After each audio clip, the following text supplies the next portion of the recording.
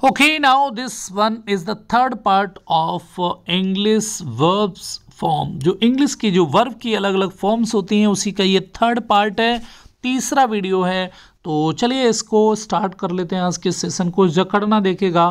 Means होता है clinch clinch clinch means होता है जकड़ना। ये आपकी फ़र्स्ट फॉर्म भी है वर्ब की। तो वर्ब की फ़र्स्ट फॉर्म भी कह सकते हैं। इसी को वर्ब की बेस फॉर्म भी बोला जाता है। जबकि सेकंड और थर्ड फॉर्म्स देखेगा सेकंड फॉर्म है जबकि ये थर्ड फॉर्म है ठीक है? तो रोहन रिया के हाथों को जकड़ लिया था। तो रोहन ने देखेगा रिया के हाथों को जकड़ा हुआ है ठीक है? पकड़ा हुआ है। आ, रोहन तो इसमें देखेगा काम करने वाला कौन है? रोहन है ठीक है? हेड क्लिंस्ड ठीक है? लिया था मीन्स आपका पास्ट परफेक्ट टेंस है ठीक है? रियाज हैंड तो रिया के हाथ को उसने पकड़ रखा जकड़ रखा है कह सकते हैं, ठीक है? क्लिंच कर लेना, एकदम जकड़ लेना, ठीक है? तो क्लिंच होता है जकड़ना। आगे बात करें तो अगला वर्ड देखेगा है ग्रिंड तो ग्रिंड करते हैं ग्रिंडिंग करना मतलब पीसना किसी चीज़ को ग्रिंडिंग करते हैं मतलब पीसते हैं। वर्ब की ये फ़र्स्ट फॉर्म है, ठीक है? ये वर्ब की फ़र्स्ट फॉर्म है बेस फॉर्म भी इसको बोला जाता है। तो जबकि ग्राउंड और ग्राउंड ये आपकी सेकेंड और थर्ड फॉर्म हो जाएँगी। ठीक है सेकेंड और थर्ड फॉर्म वर्ब की हो जाएँगी ग्राउंड तो ग्रिंड मीन्स होता है पीसना। आप देखेगा इस ओखली में डाल करके कुछ चीज़ जो है उसको पीसा जा रहा है, कहीं ना कहीं उसको ग्रिंडिंग किया जा रहा है। तो सारे मसाले तो सारे मसाले को एक साथ पीस दो। तो एक साथ पीसने की बात कीजिए। आप देखिएगा, इसको जो है इम्पेरेटिव सेंटेंस है। ठीक है ग्रिंड ऑल द स्पाइसिस तो ग्रिंड मीन्स पीस दो ऑल स्पाइसिस मीन्स होते सभी मसालों को टुगेदर मीन्स एक साथ। ठीक है तो एक साथ पीसने की बात की गई है ग्रिंडिंग करना। अगला वर्ड है that is to sweep sweep करना स्वीप मीन्स होता है झाड़ू लगाना। आप देखेगा झाड़ू लगाया जा रहा है तो जबकि इसकी जो सेकेंड फॉर्म हो जाएगी स्वीप्ड और थर्ड फॉर्म भी स्विफ्ट तो ये सेम रहती हैं सेकेंड और थर्ड फॉर्म्स है ना स्विफ्ट ही रहती है, स्वीप का स्विफ्ट घर में झाड़ू लगा दो, यहाँ पर भी देखेगा इम्पेरेटिव सेंटेंस है, झाड़ू लगाने की बात की गई है इम्पेरेटिव सेंटेंस है, ठीक है? कलर थोड़ा सा चेंज कर लेते हैं यस तो स्वीप द हाउस तो स्वीप मीन्स झाड़ू लगा दो द हाउस इस घर में, ठीक है? तो घर में झाड़ू लगाने के लिए बोला गया है तो बहुत ही सिंपल है, आप लोग सभी जानते हो टू स्वीप करना, है ना, झाड़ू लगाना। अगला वर्ड देखेगा अगला वर्ड है बिकम अब देखेगा बिकम मीन्स एक तो वर्ड मीन्स होता है होना ठीक है? होना भी होता है इसके अलावा बनना भी है ना? बिकम मीन्स होना जैसे कुछ लोग टीचर बनना चाहते हैं होना चाहते हैं ना बिकम यहाँ पर सेकेंड फॉर्म है और ये थर्ड फॉर्म है ठीक है? वर्ब की आ, तो ये वर्ब है सभी। तो यहाँ पर देखेगा मैं एक टीचर बनना चाहती हूँ या फिर होना चाहती हूँ बनना चाहती हूँ ठीक है? आई वॉन्ट देखिएगा I want to become become is होना, बनना a teacher I want to become a teacher मुझे एक टीचर बनना है या फिर होना है, ठीक है? तो यहाँ पर बनने की बात की गई है। अगले वर्ड की बात करें, आरोप लगाना। देखिएगा एलिज करना। एलिज मीन्स क्या होता है? आरोप लगाना, ठीक है? एलिज यहाँ पर बर्फ़ की सेकेंड फॉर्म हो जाएगी आपका बर्फ़ की फ़र्स्ट फॉर्म है। और जबकि ये थर्ड फॉर्म है और ये सेम रहती है सेकेंड और थर्ड फॉर्म ठीक है? एलिज होता है एलिज करना मीन्स आपका दोष लगाना, किसी पर आरोप लगाना, ठीक है? वकील ने उसके पिता पर आरोप लगाया तो लॉयर है भाई लॉयर जो है, वो तो हमारा ड्यूअर हो गया, काम करने वाला तो वकील ने जो है एलिज एलिज्ड हिज फादर तो उसने आरोप लगाया किस पर? उसके पिता पर। उसके पिता पर उसने आरोप लगा दिया। अगले वर्ड में देखिएगा, बकवास करना। तो देखिएगा, बकवास करे रहे जा रहे हैं तो इसमें क्या है? है ना? बैबल करना बैबल ठीक है, ये वर्ब की फ़र्स्ट फॉर्म है। बेवल्ड होता है सेकेंड फॉर्म जबकि बेबल्ड थर्ड फॉर्म में भी सेम होती हैं। दोनों ही फॉर्म्स अलग अलग सेकेंड और थर्ड सेम रहती हैं। वह बहुत बकवास करता है। तो वह बहुत बकवास करता है तो ये बता रहे, दूसरा कोई व्यक्ति कर रहा है तो ही ठीक है?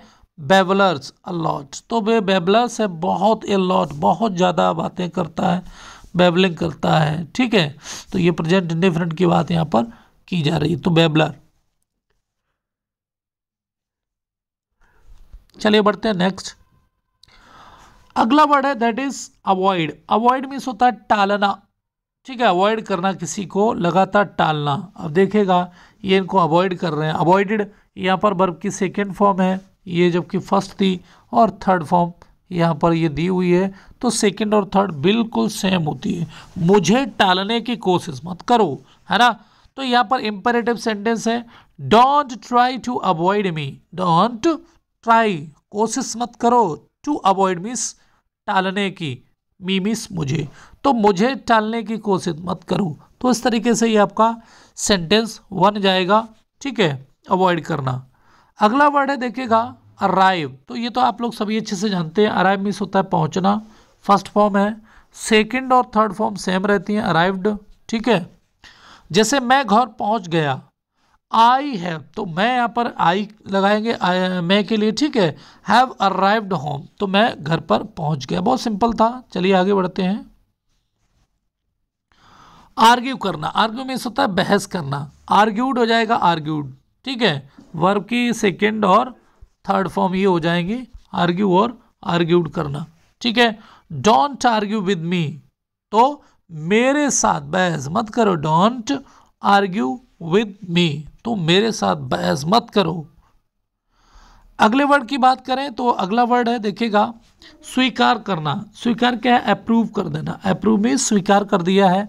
यहाँ पर वर्ब की सेकेंड फॉर्म है अप्रूव्ड और थर्ड फॉर्म यहाँ पर हो जाएगी अप्रूव्ड ठीक है? मैं तुम्हारी प्रेमिका को स्वीकार नहीं करता। तो देखेगा मैं मैं किसके आई हो जाएगा? है ना? नहीं करता है ताती वाला है तो डोंट अप्रूव स्वीकार नहीं करता ऑफ़ योर गर्लफ्रेंड मैं तुम्हारी जो गर्लफ्रेंड है है ना तुम्हारी प्रेमिका है उसको बिल्कुल भी स्वीकार नहीं करता। आप देखेगा ये वहाँ से तो बड़ा मोड़ने में लगे बैंड मिस मोड़ना ठीक है? तो मोड़ने में लगे हैं। आ, तो ये अब बर्ब की फ़र्स्ट फॉर्म है बैंड वहीं बेंट सेकेंड फॉर्म हो जाएगी थर्ड फॉर्म इसमें बी ई एन टी ठीक है? तो ये सेकेंड एंड थर्ड फॉर्म हो जाएँगी। उसने आसानी से लोहे की रॉड को मोड़ दिया। आसानी से तो नहीं मोड़ा है, देखिएगा हालात क्या हो गए उसके, है ना? तो ही मीन्स उसने बेंट यहाँ पर बर्फ़ की सेकेंड फॉर्म लगाई गई है द आयरन रॉड तो उसने लोहे की जो रॉड थी उसको मोड़ दिया इजली मीन्स बड़े ही आसानी से। तो आसानी से तो नहीं खैर मोड़ा है, हमें भी इसका एक्सप्रेशन दिख रहा है। यस ओपन तो आपको बड़े ही ईजिली मालूम होगा ओपन और ओपन ये वर्ब की सेकेंड फॉर्म और थर्ड फॉर्म भी सेम रहती है तो ओपन। दरवाज़ा खोल दो, हवा आ जाएगी। Open the door, the air will come. बहुत सिंपल है, चलिए आगे बढ़ते हैं। बंद करना, क्लोज भी होता है क्लोज क्लोज हो जाएगा। ठीक है, क्लोज द डोर। ये भी सिंपल है, बिल्कुल। यस बब इन इसमें दर्द होना। तो पेन पेन देखेगा है ना? पेन होता है, पेन वर्ब की फ़र्स्ट फॉर्म है। जबकि पेंड यहाँ पर सेकेंड फॉर्म है और थर्ड फॉर्म भी यहाँ पर पेंड है। कल से मेरे हाथ में दर्द हो रहा है। तो my hand is paining since yesterday तो देखो, मेरे हाथ में दर्द हो रहा है है ना? तो इस तरीके से पट्टी वट्टी बांधने की कोशिश की जा रही है। तो पेन तो आप लोग अच्छे से जानते ही हैं। अगला वर्ड है चोट लगना तो हर्ट होती है। हर्ट कर देना, है। तो ये बर्ब की फ़र्स्ट फॉर्म है सेकेंड फॉर्म हर्ट हो जाता है थर्ड फॉर्म भी हर्ट तो देखिएगा, सभी फॉर्म सेम रहती हैं first second and third form सभी एक जैसी रहती हैं। डोंट हर्ट हिम उसको उसका दिल मत दुखाओ, है ना? उसको हर्ट मत करो, भैया, चोट मत लगाओ। उसके दिल को थोड़ा लगता है जाकर के, यार, ठीक है? आगे बात करें तो नो नो मीन्स होता है जानना, ठीक है? वर्ब की फ़र्स्ट फॉर्म होती नो न्यू होती है इसकी सेकेंड फॉर्म जबकि नॉन होती है इसकी थर्ड फॉर्म इसमें देखिएगा तीनों फॉर्म्स अलग अलग हैं वर्ब की।